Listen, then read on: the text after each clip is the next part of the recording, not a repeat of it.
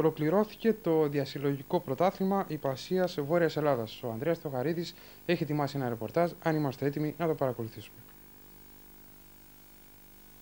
Με τους ένατους διπλούς διασυλλογικούς υπηκούς αγώνες που έγιναν στις εγκαταστάσεις του υπηκού ομίλου Καλαμαριάς, ολοκληρώθηκε το διασυλλογικό πρωτάθλημα Βόρειας Ελλάδας.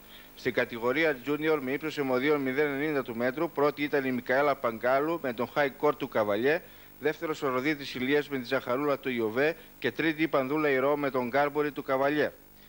Στην ε, κατηγορία εφήβων με ύψος εμποδίων ενός μέτρου, πρώτη ήταν ε, η Παγκάλου Μικαέλα με τον High του Καβαλιέ, δεύτερη η Κορένα Τάσα με τον Εσπρέσο του Ιωβέ και τρίτη η Μαλατρά Αθανασία με τον Σκάρβα του Ιωβέ.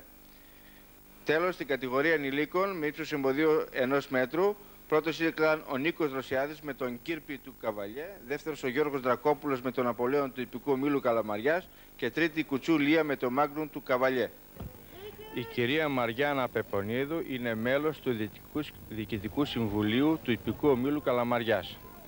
Πέστε μας σχετικά με τους αγώνες που διοργανώνονται στον όμιλό σας.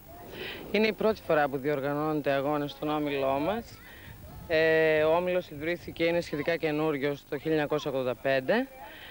Φιλοδοξούμε ε, η ομάδα που έχουμε αποτελείται από 10 άτομα και λαμβάνουμε μέρος μόνο στους διασυλλογικούς αγώνες της Θεσσαλονίκης και φιλοδοξούμε να, η ομάδα αυτή να λάβει μέρος και στο Εθνικό Πρωτάθλημα. Ε, οι συμμετοχές ε, σήμερα είναι πάρα πολλές. Ε, είναι 105 άτομα συμμετοχές από όλους τους ομίλους της Θεσσαλονίκης. Ε, το όμιλος ε, προσπαθεί πάντα για να βελτιώσει το επίπεδο της υπασίας και να προσελκύσει καινούργια παιδιά. Η, γιατί τα άλογα και γενικά η υπασία είναι ένα σπορ που σε φέρνει και κοντά, στο, ε, και κοντά στη φύση.